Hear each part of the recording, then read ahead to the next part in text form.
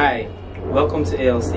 I'm Irene In this video, I'll be talking about engine positioning. This is how the engine is positioned in the engine bay or how the engine is oriented in the engine bay. It is different from engine location because you know the engine could be located at the rear or in the middle or in front. So now I'm just talking about engine positioning, which is what I said earlier on, how the engine is positioned in the engine bay. First of all, we have two types. We have the transverse engine positioning and the longitudinal engine positioning. The first I'm talking about is the transverse, which is the most common. This is the vehicle, this is the rear of the vehicle, this is the front of the vehicle. So when facing the engine bay or facing the, the vehicle, we see our engine positioned horizontally, that is perpendicular to the direction of travel of the vehicle. So here we have our, our cylinders arranged from the left to the right. Here, and after that we have the transaxle. The transaxle is made up of the transmission and the differential together in one, and the drive shaft sending powers to the wheel of the vehicle to propel the vehicle. So now, that is for the transverse engine position. And for the longitudinal engine position, we have the engine when standing in front of the vehicle, we have the engine going in a straight line from the middle to the rear of the vehicle.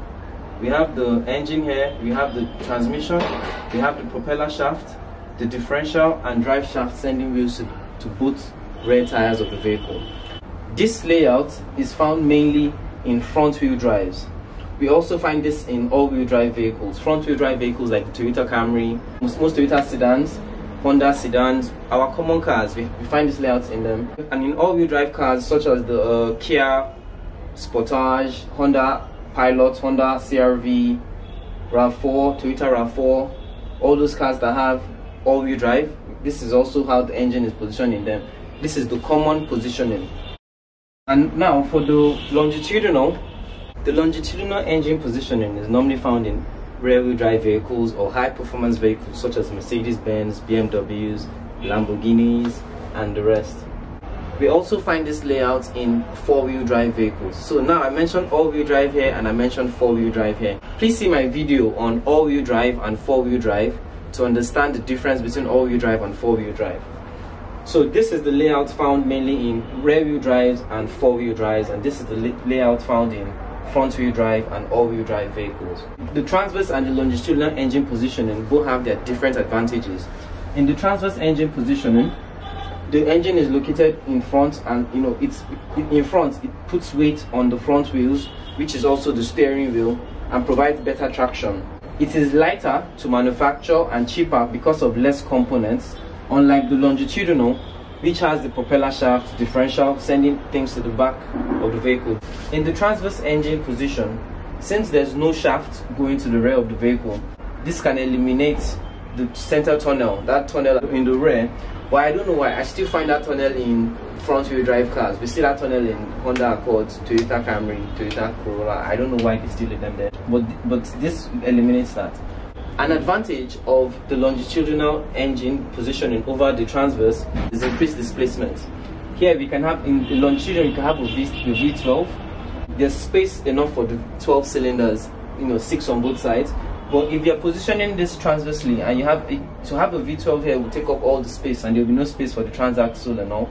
Although I've seen a, v, a V8 transverse engine vehicle but that's like the only one I've seen. It's not really common. Normally, the highest you see is the V6.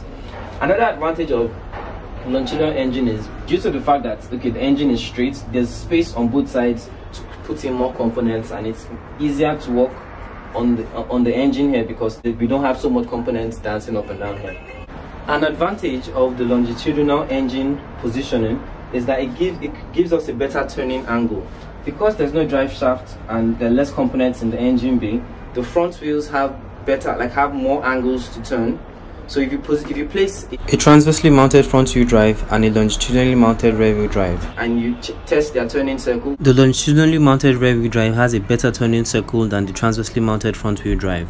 Because this it because it, it has the drive shaft and components in the engine bay that limits that's the avalon that limits its turning angle. To learn about front wheel drive and rear wheel drive please see my, my video on front and rear wheel drive vehicles. And to understand or learn about front wheel drive, rear wheel drive, all wheel drive and four wheel drive, please see my video on drive lines. So that's a lot of videos for you to see.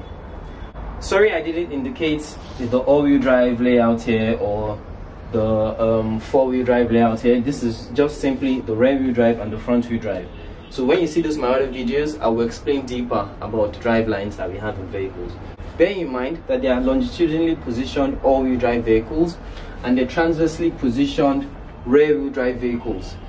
It's just that these are the two like this is the most common layout or orientation so this is a, a recap of what we just learned here. When you stand in front of your engine or your vehicle and you see your engine like that what's called horizontally that is a transverse engine. And when you stand in front of your vehicle and you see your engine in a straight line that is a longitudinal engine. Thank you for watching. Also please subscribe to my youtube channel Ayo cars and tell your friends about it. Share this channel so that can encourage me and help me make more car videos for us car lovers and non-car lovers so that we just understand and love our cars more. Thank you